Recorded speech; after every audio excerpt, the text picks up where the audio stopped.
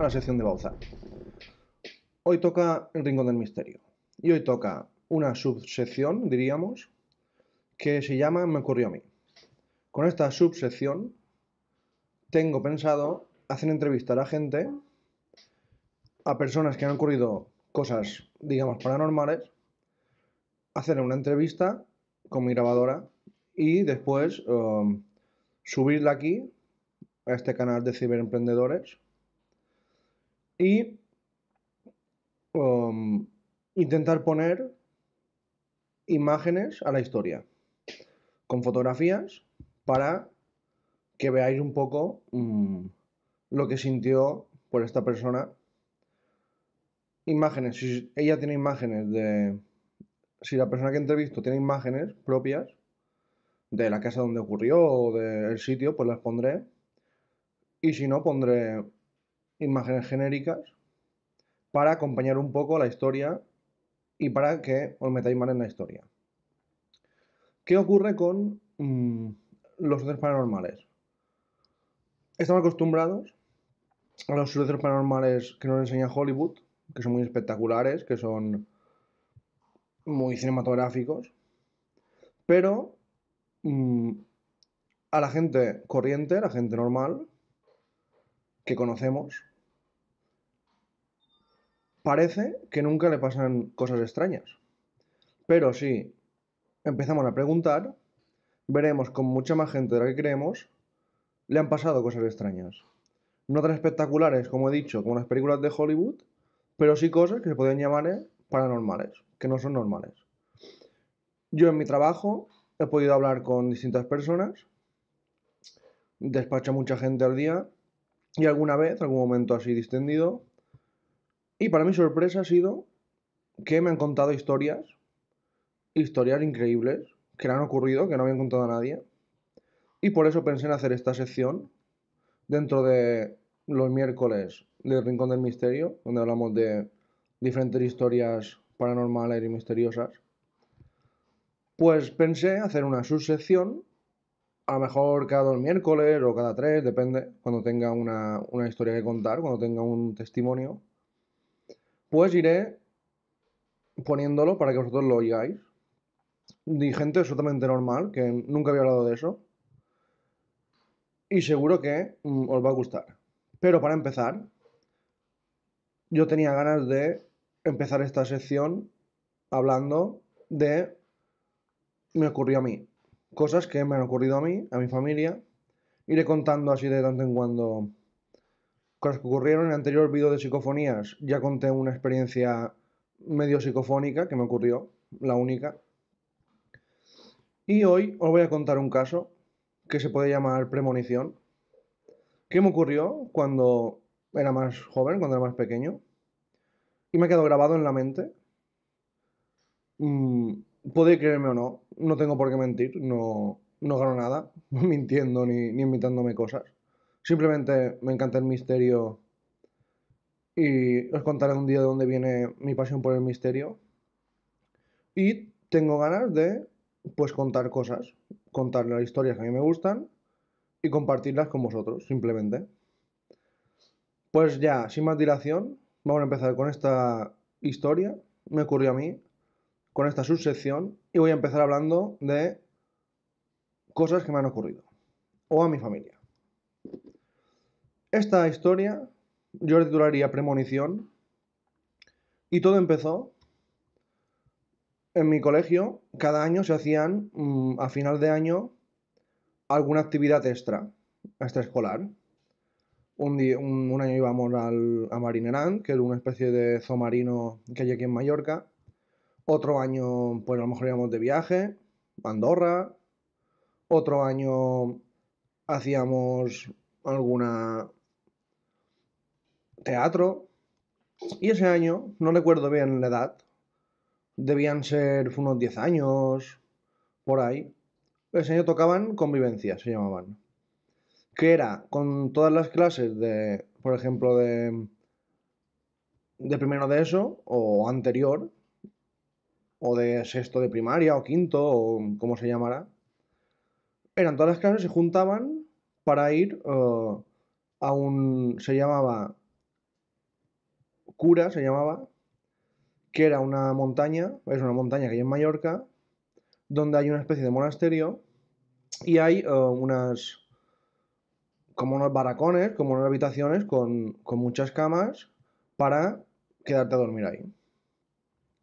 Bueno, yo de principio de año sabía que a final de año haríamos la excursión esta, duraría dos días, serían como una especie de acampada, pero mmm, me olvidé de eso, no, no, pensaba en eso porque aún quedaban bastantes meses y tenía en la cabeza pues otras cosas que no era, que no era esto. Tampoco estaba nervioso por la excursión ni tampoco estaba intranquilo por ir ahí, simplemente no, no pensaba en eso.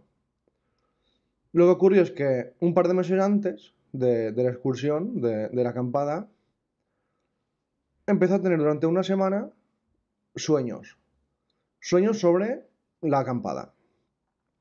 Al principio pues soñé cosas así como esporádicas de la acampada, pero me sorprendió porque a medida que pasaban los días de semana, los sueños eran mucho más reales, parecían más profundos y me acordaba perfectamente cuando me despertaba del sueño.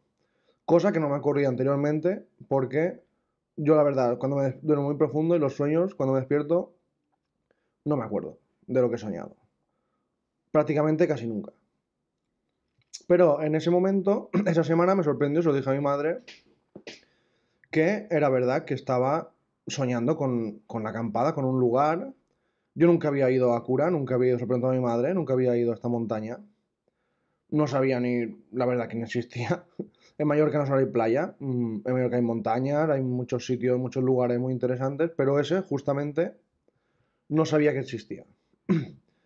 Y empecé a soñar con eso, le pregunté a mi madre, mi madre dice, no, yo tampoco he ido, mmm, tampoco ningún compañero me había hablado de eso, los profesores no habían, perdón, explicado apenas nada. Simplemente que íbamos a la montaña a pasar un, un, fin de semana de convivencias. Nos dijeron lo que teníamos que traer, la ropa y tal, y, y nada. Pues un par de meses antes, como os digo, empecé a soñar y recuerdo que ya cuando los sueños los recordaba ya prácticamente al 100%, el primer sueño que recuerdo es subir con un autobús antiguo, un montón de curvas, y que yo estaba un poco intranquilo porque los niños, mis compañeros en el bus, pues chillaban, saltaban, reían, los profesores intentaban poner orden. Eso era lo que yo soñé. El primer sueño, digamos, um, oficial de la premonición. Soñé que estaban tratando yo. Yo nunca tuve miedo a los buses. Pero recuerdo que en ese sueño me mareaba un poco y pasaba mucha pena porque veía que el bus iba muy justo al lado de, de, la carretera, que eran curvas muy altas que iban subiendo. Y recuerdo que yo estaba muy intranquilo en ese viaje porque pensaba, estos niños como salten y como mis compañeros hagan el burro, como hacen los niños de esa edad, pensaba, no sé, como en ese sueño, tenía sensación de que nos caeríamos con el bus. Al día siguiente ya soñé, es que lo soñaba como por etapas. Al día siguiente soñé, ya que llegábamos, que había una gran cruz en la entrada de los barracones, que había un campo de fútbol, que el balón, si tiraba muy fuerte, yo veía jugar a niños en el sueño y que el balón iba muy fuerte y se caía por la montaña. Una cruz gigante, como he dicho. Al lado de los barracones, un monasterio también muy grande con una iglesia. Y recuerdo entrar en, el, en los barracones, dejar, dejar los trastos, una maleta, y recuerdo que en la entrada había a lo mejor 20 literas, dos, dos, dos, dos, y dos así cada parte. Y recuerdo que eran de color verde militar y que había como dos habitaciones que la primera nos poníamos los chicos a dormir y que los profesores decían que en la siguiente habitación se ponían las chicas. Al día siguiente, al tercer sueño, ya soñé que me despertaba una noche en el barracón, todos durmiendo, y yo pasaba a través del cuarto de las chicas porque el, baño, el, los lavabos estaban al final y tienes que pasar sí o sí por el cuarto de las chicas. Y recuerdo pasar por ahí muy lentamente para no despertar a nadie y que un profesor se despertó y me dijo dónde vas y yo dije pues voy al baño. Es que recuerdo el sueño, los sueños que estoy contando los recuerdo perfectamente, como si fuera una película. Y nunca me había pasado recordar tan preciso los sueños. Eso era el tercer sueño, que entraba al baño y tal. Y el cuarto sueño, lo que ocurrió es que un amigo mío mm, hizo un poco el loco una noche y los profesores mm, lo sacaron fuera, me acuerdo, para castigarlo, para que a ver si se tranquilizaba. Y recuerdo que en el sueño estaba un profesor con mi compañero sentado en, en la lado de la cruz, que he dicho al principio, que tenía frío, que decía, tengo frío. Y el profesor, va a estar aquí media hora hasta que te tranquilices. Y, eso recuerdo en el sueño. Y encima era un amigo mío que estamos mucho tiempo juntos. Y yo recuerdo que salía y decía, pero no puede entrar. Pero, ¿por qué no lo dejáis entrar? Que tiene frío. Y el profesor, cuando vio que yo salía, pues mm, lo dejó entrar. Hasta aquí todo normal. Dejé de soñar con eso. Y al cabo de un par de meses, fuimos. Llegó el momento, cogí mi maleta, nos fuimos al bus. Y en el bus, yo ya no recordaba, no, no pensaba con los sueños ya. Solo pensaba en pasármelo bien ese fin de semana con los compañeros. Y ya en el bus empecé a tener una sensación extraña.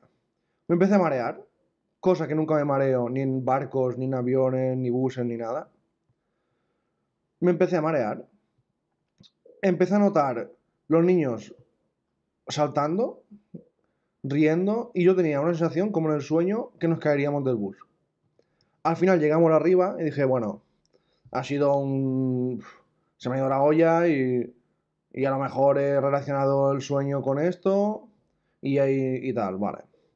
Mi sorpresa fue al llegar que efectivamente había una cruz gigante en la entrada, que había un campo de fútbol donde había niños jugando, que un balón se les escapó y se les cayó por la montaña. Y mi sorpresa fue al entrar a los barracones, eran exactamente 100% como había soñado. Barracones, camas verdes, literas, de dos en dos, las chicas al final del pasillo, al final de la última habitación, y nos dijeron, el baño está al final del pasillo, hay que pasar por el cuarto de las chicas. Y nos dijeron, no hagáis el tonto si duermen y tal. Y era exactamente lo que había soñado. Me quedé así, se lo comenté a un par de compañeros, digo, es que acabo de soñar eso hace un par de meses, y es que exactamente... Y me quedé como un, poco blanco, y vino un profesor y me dijo si estaba bien, si si te pasaba algo. Y le dije, pues se lo expliqué, digo, es que soñé exactamente esto que estoy viendo no me hace mucho caso. nada de caso, la verdad. Y nada, y me senté en la litera, pues dormí yo arriba y mi compañero abajo. Y esa noche, después de... Nos hicieron un par de juegos, nos llevaron a una cueva, nos contaron una historia mm, de una serpiente, después cenamos. Bueno, todo así normal, nos lo pasamos súper bien. Y esa noche me despierto y miro abajo y no está mi compañero. Bajé y fui al baño. Un profesor me paró, me dijo dónde iba. Le dije que iba al baño, igual como había soñado. Y cuando salí, salí fuera y vi a mi amigo en pijama con un profesor que estaba dando la bronca, que tenía frío, que decía tengo frío, y yo le dije al profesor, pero déjalo entrar, que se te va a morir de frío. Y en ese momento no. En ese momento no pensé en el sueño. Pero al día siguiente, al despertar, empecé a pensar, digo, pero si ha pasado lo mismo que soñé. Si fue exactamente lo que ocurrió todo, ha pasado todo exactamente. Y me quedé un poco, estaba un poco. La verdad, esas convivencias mm, no me lo pasé de todo bien, porque tenía esos sueños en la cabeza, tenía esos pensamientos. Y es que no hay explicación. Se lo conté a mis padres, se lo conté a mi madre, también se quedaron un poco... Y nada, por al volver, mm, como he dicho, se lo conté a mi familia. Y lo interesante es que recuerdo todo ese sueño, esos sueños, esos cuatro días de sueños, o cinco. Aún hoy en día los recuerdo con todos los detalles, 100%. Y recuerdo cómo me sentí al llegar a ese lugar y ver que lo que había soñado era exactamente lo mismo. ¿Qué puede ser eso? No lo sé. Un déjà vu, pero un déjà vu es muy corto. Un déjà vu es cuando te pasa algo o ves algo que crees que ya te ha pasado. Pero es muy corto, son segundos. Yo es que lo que soñé fue todo exacto. Todo, es que el color de las sábanas, mm, el profesor que me dijo dónde iba, mi amigo fuera, la cruz, el campo de fútbol, todo, absolutamente todo. ¿Qué fue eso? ¿Un sueño premonitorio? Yo creía que el premonitorio era... Incluso pensé no ir porque digo, estoy soñando esto y se va a caer el bus por, por, el, por la montaña. Pero al final, cuando me acuerdo llegar arriba, dije, uff, menos mal. Yo creía que el sueño era una premonición de que teníamos un accidente con el bus. ¿Qué ocurrió? Que el bus fue rozando las, las carreteras todo el rato, no cayó. Hubo un momento que sí, que tuvo que dar un frenazo porque bajó un coche. Y ahí me asusté mucho. Ahora lo recuerdo.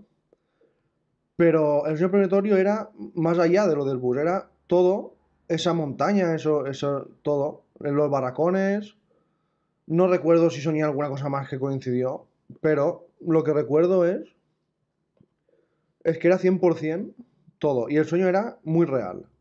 No era el típico sueño un poco raro, un poco que no sabes explicarlo, no te acuerdas de todos los detalles, que me acordaba perfectamente. Podía haber dibujado todo ese lugar sin equivocarme apenas ni un 1%. ¿Qué fue eso? Un super sueño premonitorio, una iluminación que tuve es que no sé, no sé cómo explicarlo. Eso me ha quedado siempre grabado. Curiosamente, no he vuelto a ese lugar. Mm, ni de excursión, ni con, ni con mi mujer, ni con amigos. En un lugar que no... Cada vez que hablo, no sé, se ponen los pelos de punta, solo pensar. Sobre todo lo del bus. Yo estaba convencido que pasaría algo con el bus. Y por alguna razón no pasó. Pero soñé todo eso. ¿Qué era eso? Un sueño premonitorio que duró una semana. ¿Por qué me ocurrió eso? Me quería, el sueño me quería decir algo. Mi subconsciente quería decirme algo. Me avisaba de algo. Y efectivamente, me avisaba de algo. Al cabo de un par de días, en el colegio empezaron a faltar niños. Lo que ocurrió es que, me estoy poniendo los pelos de punta. Lo que ocurrió es que había habido una intoxicación alimentaria. Yo tuve dolor de barriga y diarrea una noche. Cuatro o cinco compañeros, al cabo de dos días, que teníamos que volver al colegio, o tres, no me acuerdo, no, no, acudieron porque se intoxicaron con algún alimento que comimos ahí. Y recuerdo los profesores mm, decir que, que había habido muchos casos. Hay una mosca por aquí. Así que estoy convencido que el sueño premonitorio, que yo creía que era que pasaría algo con el bus, era que me avisaba de alguna manera que ocurriría algo y me lo mostró, mi subconsciente o lo que fuera, me lo mostró de esa manera, haciéndome ver que ese lugar pasaría algo. Y por eso, creo que más que un sueño premonitorio, mi, mi duda es, todos estos años, es qué es lo que provocó que ese sueño me, me avisara de que ocurriría algo. Y eh, además estuve toda la semana intranquilo antes de ir, porque pensé en lo del bus, Ahí no estaba muy, muy contento. Yo siempre me gusta comer mucho, mm, cualquier cosa. Recuerdo que no comí mucho esos días. Por eso a lo mejor no me intoxiqué tanto. Al final no fue una intoxicación, intoxicación muy grave, pero cuatro o cinco niños o seis o más se intoxicaron. Así que fue un siempre monitorio que me avisaba de algo y me lo mostró de esa manera. Y no he vuelto a tener ningún sueño de estos. Lo he comentado con gente y un sueño tan tan real, tan 100% exacto, no me han dicho que les ocurriera, porque he preguntado, ¿ha pasado cosas de esta y tal? Pregunta a mis compañeros, alguno me dijo que sí, que no, que al final no quiso ir, pero tampoco me explicó, éramos más pequeños y claro, tampoco me explicó nada exacto. Pero estoy seguro que de alguna forma me estaba avisando que algo ocurriría. No pasó nada grave, pero efectivamente ocurrió una intoxicación alimentaria. Esta es la historia de me ocurrió a mí. Tengo más historias. Mi madre, sobre todo, os voy a contar un par de historias que ocurrieron a mi madre. No espero que me creáis ni... Solo espero cómo hacer reflexionar y ver que la gente como nosotros, la gente de la calle, nuestros padres, nuestros hijos, nuestros hermanos, nuestros vecinos, pues a veces les ocurren cosas extrañas. Como he dicho, no tan espectaculares como las películas, pero sí que son extrañas, a lo mejor solo ocurren una vez en su vida o dos. Pero si preguntáis, haced la prueba, preguntad a familiares, amigos, mm, vecinos que tengan confianza y veréis como muchísima gente le ocurren muchas cosas de este tipo. No, no son cosas que se abren las puertas de las casas y un cuchillo va volando hacia ellos, como nos muestran Hollywood, que ha, ocurrido de verdad algunas veces, pero eso ya es otro tema. Pero sí que es verdad que gente, digamos, normal, como nosotros, gente de calle, le ocurren cosas extrañas, paranormales, y algunas, que son los casos más famosos, ya suman el listón y ya son casos increíbles. Pero haced la prueba, preguntad a compañeros, amigos, familiares y veréis como de cada 10 personas, dos o tres, seguro que han vivido o algún suceso paranormal, han visto alguna luz extraña, algún sueño premonitorio, gente que el misterio no le interesa, que y veréis cómo os van a contar historias que os va a sorprender. Por eso esta es mi subsección, me ocurrió a mí. Hablaré un par de vídeos hablando de historias como estas que me han pasado a mi familia o algún amigo conocido. Y a medida que tenga mm, grabaciones de, de entrevistas, las iré subiendo. Y nada, espero que os guste, creo que reflexionar.